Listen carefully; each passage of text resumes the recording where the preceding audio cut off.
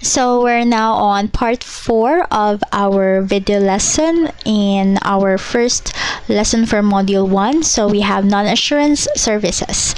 So what are these non-assurance services and why are they called as non-assurance services? So primarily these are non-assurance services because these lack one or more of the elements of the assurance engagements. Okay? Can you still recall the five elements of the assurance engagements. Okay, what is the first one?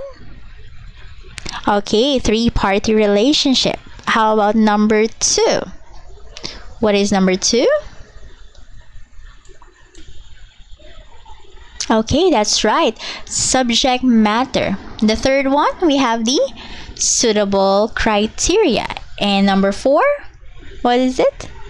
Okay, sufficient appropriate evidence. And the last one, of course, there should be an assurance report. So any of those elements, when these are lacking or they are lacking, so that type of service or engagement will be called as a non-assurance service.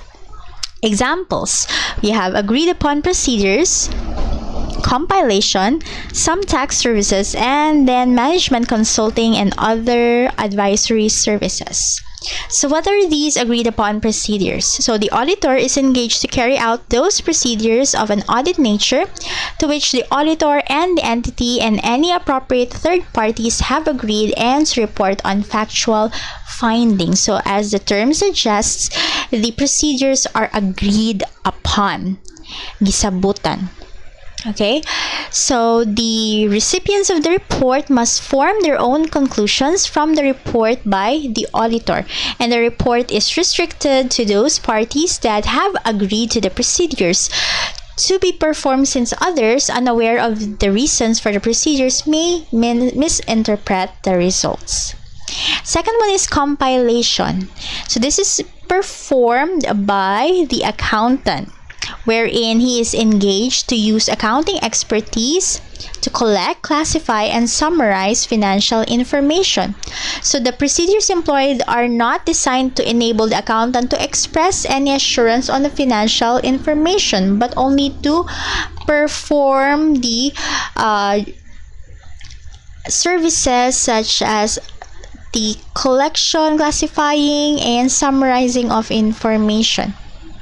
However, we can say that the quality of the results or the quality of the uh, service that is provided by the accountant is high because the accountant's involvement here uh, is accompanied with professional skill and due care. Okay. And then you have other tax services such as preparation of tax returns, tax consulting, and representations of clients to tax authorities. Then we also have management consulting and other advisory services.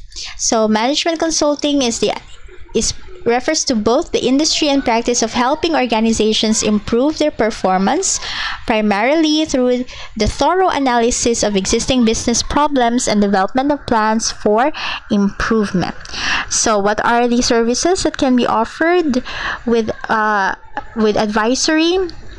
We have small business management, cash management, compensation plan, evaluations, growth planning, purchasing or selling a business, measuring business performance, and even disaster recovery plan. Okay. So, what are the missing parts or missing elements in these types of services. For agreed upon, there's no conclusion expressed the same in compilation. In some tax services and management consultancy, there's only two parties involved.